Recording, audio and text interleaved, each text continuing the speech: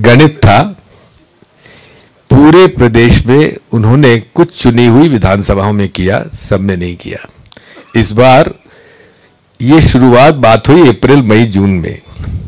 जब सर्वे में, आरएसएस के सर्वे में भाजपा को 60-70 सीटों पे मामा जी ला के खड़ा कर दिए थे, तभी मामा जी को अलग करके केंद्र सरकार के दो दो मंत्री यहाँ बिठाए गए और तभी अमित शाह जी ने दर दर की ठोकरें खाकर मशीनों का खेल शुरू किया, मेरा यह आरोप है।